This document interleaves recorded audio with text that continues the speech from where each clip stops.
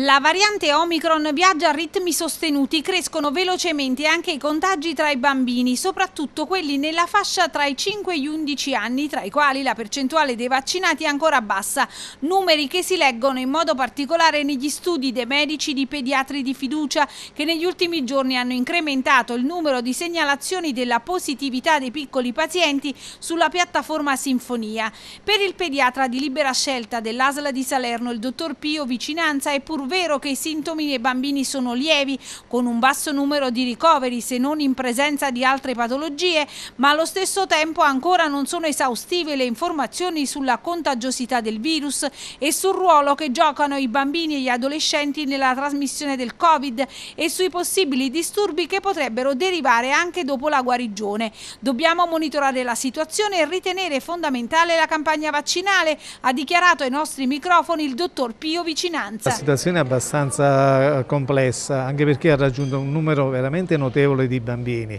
fino a 7-8 a volte eh, bambini eh, Covid positivi in una, in una stessa classe. È, è, migliorata soprattutto un pochino nelle, fes nella, nelle festività natalizie, ma ha ripreso subito adesso. Infatti siamo costretti a un lavoro eh, enorme di eh, segnalazione di questi bambini positivi alla, eh, diciamo alla, alla, sulla piattaforma Sinfonia Covid Covid e, e, e seguire poi questi bambini a casa eh, sia, mondo, sia con, eh, tramite telefono ma anche a volte eh, visitandoli per ehm, valutare delle situazioni un po' più sgradevoli.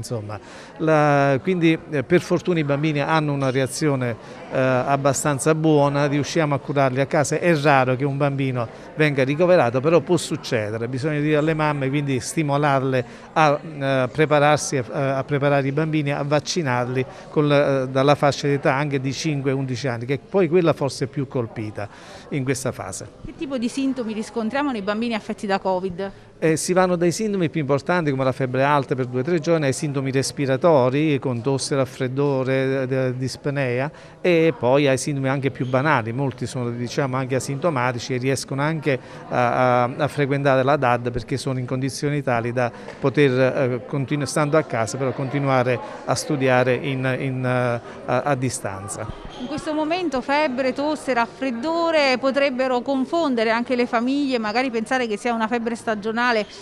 è anche un periodo dove c'è anche la bronchiolite che ancora circola. Certo, il pericolo è proprio questo, ma devo dire che le mamme sono molto attente e sono molto allestate sul problema Covid, quindi eh, sono loro stesse che poi chiedono eh, di fare subito un tampone per assicurarsi che non sia una, una patologia da Covid, ma una patologia banale simile influenzale o influenzale. In questo momento pare, almeno dai dati che eh, leggiamo, che c'è una certa contrazione da parte delle mamme non proprio favorevoli e disponibili a vaccinare i bambini, soprattutto nella fascia sotto i 15 anni.